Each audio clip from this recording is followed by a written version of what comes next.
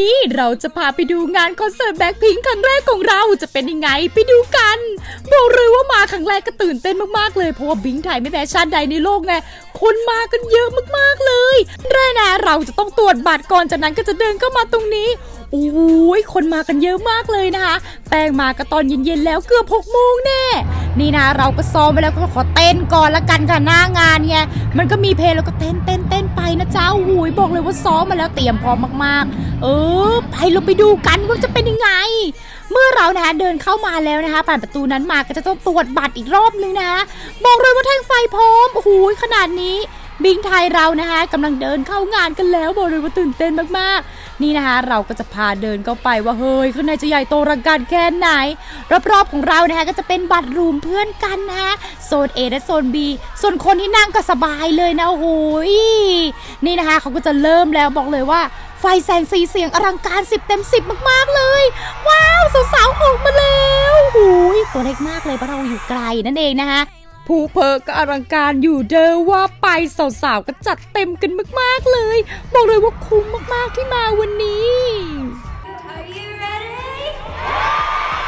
โรเซ่น่ารักมาก เมื่อกี้นะโรเซ่เขาก็ทักทายแฟนกลับเอ้ยบอกเลยว่าช็อตนี้ฉันตายว่าไม่ได้ยินเสียงเลยค่ะสนุกกันไหมคะสวัสดีพี่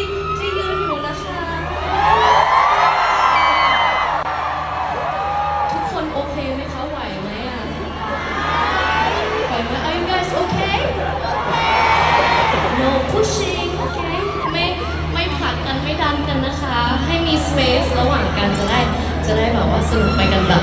ไม่ต้องกังวลอะไรโอเคไหมเองไงเราอยู่ในงานเราบอกเลยว่า อยู่ข้างหน้ามันอึดอัด ออกมาเต้นกันดีกว่าก็เต้นไปเลยจ้านี่เออเฮ้ยอย่าเพิ่งปิดคลิปนะบอกเลยว่า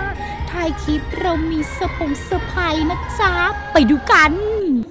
นี่เราก็มาเซอร์ไพรส์นะคะงานวันเกิดพี่จีซู บอกเลยว่านางน่ารักมากๆกัน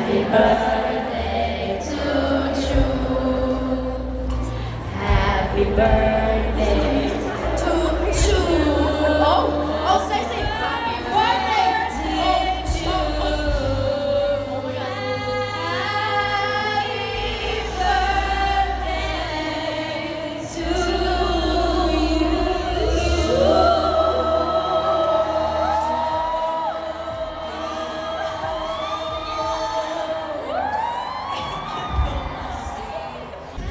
น่กับงานคอนเสิร์ตแบ็คพีนะบอกเลยว่าเกือบ 2 ชั่วโมงเต็มๆ สาวๆนะคะมอบความสุขให้กับชาวบิง บอกเลยว่าคุ้มค่ามากเลย